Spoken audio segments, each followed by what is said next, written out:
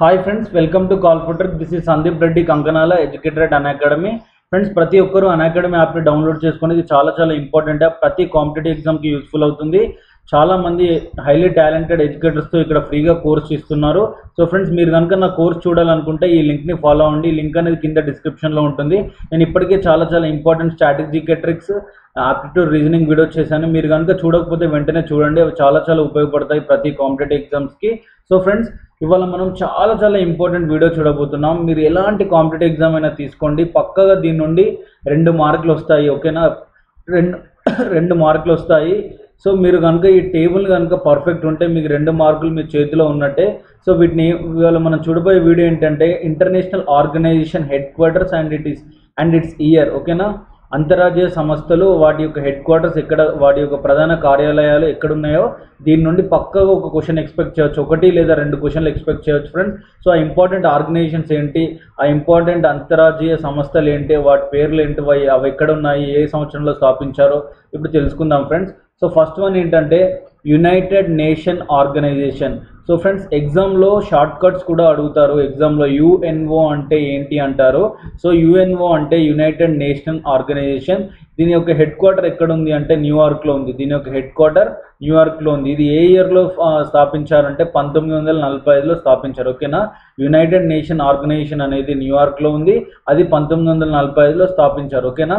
Next united nation children's fund. United nation children's fund. దీని యొక్క short form ఏంటంటే UNICEF అంటే united national institute of children education fund. ఓకేనా?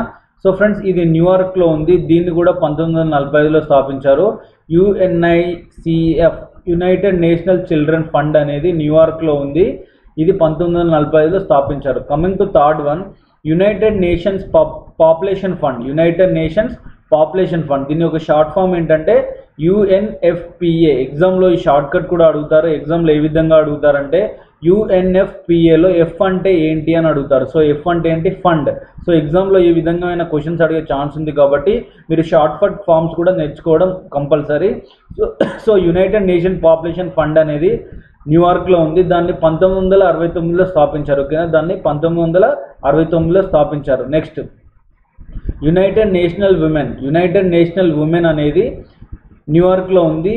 దీని యొక్క హెడ్ క్వార్టర్ న్యూయార్క్లో ఉంది. ఎప్పుడు స్థాపించారంటే రెండు వేల రెండు వేల పదిలో స్థాపించారు. ఓకేనా?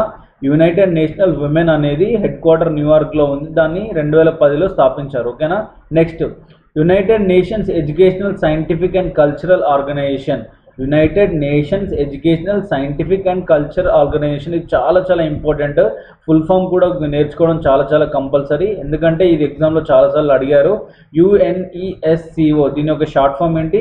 యుఎన్ఈఎస్సిఓ ఇది ఎక్కడ ఉంది అంటే ప్యారిస్ ఫ్రాన్స్లో ఉంది. ఇది ఒక ఎక్కడ ఉంది అంటే ప్యారిస్ ఫ్రాన్స్లో ఉంది. అండ్ ఇది ఏ ఇయర్లో స్థాపించారంటే పంతొమ్మిది వందల నలభై ఐదులో స్థాపించారు. ఇది ఏ ఇయర్లో స్థాపించారు?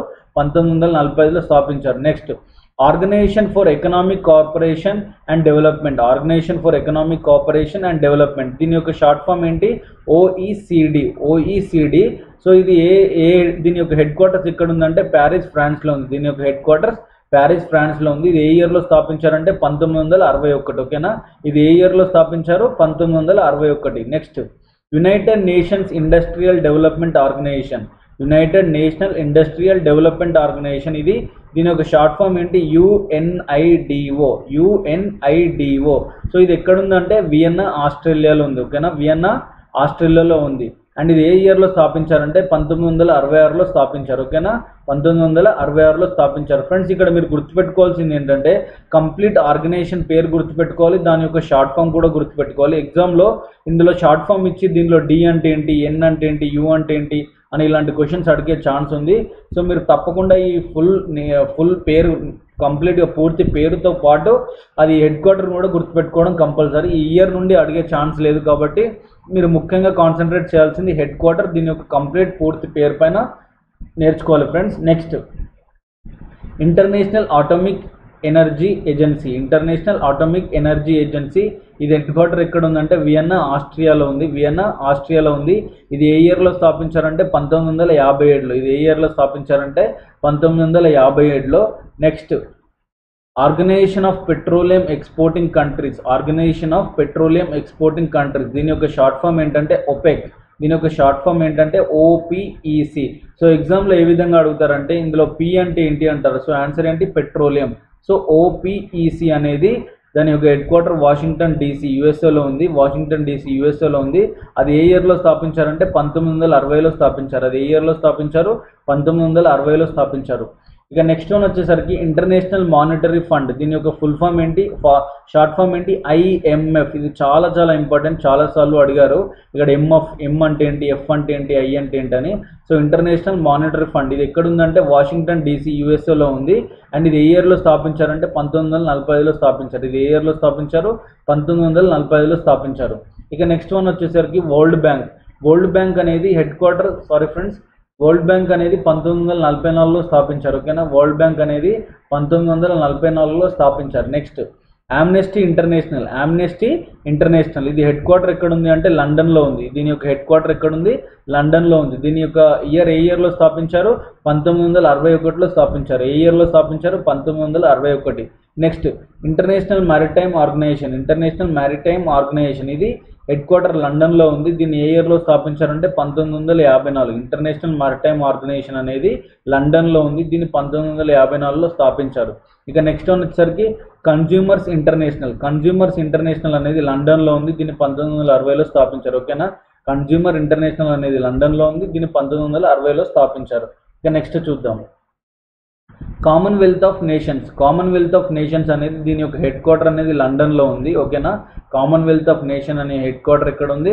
లండన్లో ఉంది. ఇక నెక్స్ట్ వచ్చేసరికి international court of justice international court of justice అనేది ద హాగ్ నెదర్లాండ్స్లో ఉంది ఓకేనా? ద హాగ్ నెదర్లాండ్స్లో ఉంది. ఇది పంతొమ్మిది వందల నలభై ఐదులో స్థాపించారు ఓకేనా? ఇంటర్నేషనల్ కోర్ట్ ఆఫ్ జస్టిస్ అనేది ద హాగ్ నెదర్లాండ్స్లో ఉంది. ఇది పంతొమ్మిది వందల నలభై ఐదులో స్థాపించారు. ఇక నెక్స్ట్ వచ్చేసరికి food and agriculture organisation. Food and agriculture organisation ఇది రోమ్లో ఉంది అండ్ దీన్ని పంతొమ్మిది వందల నలభై ఐదులో స్థాపించారు ఓకేనా? ఫుడ్ అండ్ అగ్రికల్చర్ ఆర్గనైజేషన్ అనేది రోమ్లో ఉంది అండ్ దీన్ని పంతొమ్మిది వందల నలభై ఐదులో స్థాపించారు. Next. North Atlantic Treaty Organisation. North Atlantic Treaty Organisation దీని యొక్క షార్ట్ ఫామ్ ఏంటి?